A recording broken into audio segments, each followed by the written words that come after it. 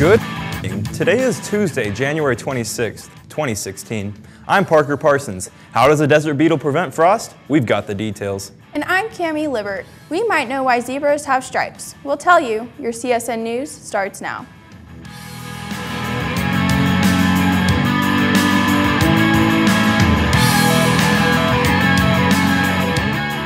It's back. The event you've all heard about is coming. Save the date for the Men in Tights Volleyball Tournament on Wednesday, March 9th at 4 p.m.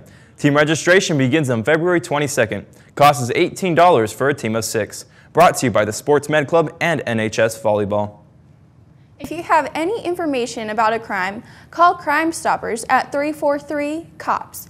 You may remain anonymous and could be eligible for a reward of up to $1,000. Last week, the Leo Club made cat blankets. This Thursday, they'll be delivering them to the animal shelter and playing with the animals. If you'd like to join us, meet in room 674 after school Thursday. Sports Med Club has a meeting this Wednesday after school in the athletic training room. The next Skills USA meeting will be today at 2.45 p.m. in Mr. Babcock's room 410. If you're interested in being on the yearbook staff next year, please see Mrs. Levi to pick up an application. You must complete the application, pass your interview, teacher recommendations, and carry a 2.5 GPA or higher to be considered. All applications must be turned in turned back in by February 1st. If you have any questions, please stop by and ask Mrs. Le Levi in room 201. The first parent meeting for the Spain trip in 2017 will be Wednesday, January 27th from 6 to 7 p.m. In room, in room 126. For more information and to sign up, come see Miss Wright. We'll be right back after this.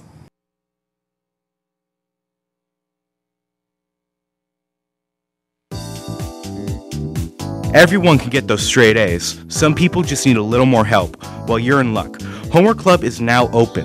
You can get that one on one help you want from your teachers. Go to room B201 to sign up. Homework Club meets from 2:45 to 4 p.m. on Tuesdays and Thursdays after school. Busing will be provided. Remember, you're in high school now, so your grades count. Join Homework Club today.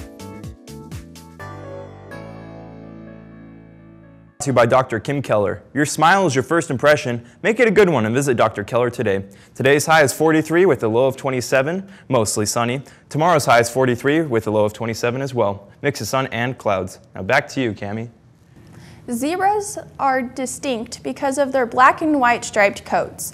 What's fascinating about those striped coats is that they come in different patterns that are unique to each zebra. Scientists have thought that these animals' black and white stripes are helpful in camouflage or in mate selection, as Charles Darwin argued. However, a study conducted at the University of California, Davis found these concepts may be inaccurate as we have been looking at zebra stripes in the wrong way. Scientists say that since the stripes can't be seen from the distances predators see at the likely reason zebras are striped is to help keep the animal cool and to fend off predator, er, predatory insects. A desert beetle taught scientists how to prevent frost on airplanes, coils, and windshields. A team of scientists at Virginia Tech has discovered a method for controlling and preventing frost, according to a study published in Scientific Reports, an online journal run by Nature. The method works around the combination of a specific pattern overlaid on top of a water-resistant surface. The team believes that by scaling up tests, the method would be con conducive for use on larger commercial objects, like airplanes. The inspiration for the effective frost prevention method came from an insect that lives in an environment where frost is rarely a problem. Scientists based their method off the shell of the beetle. Today's SAT word of the day is dispute, which means to disagree, to call into question, to struggle over or against. You could use it this way. Faced with evidence of his misdeed, the accused could not dispute that he had been in the wrong. Thanks for watching, and remember, if the news breaks, we'll, we'll fix, fix it. it.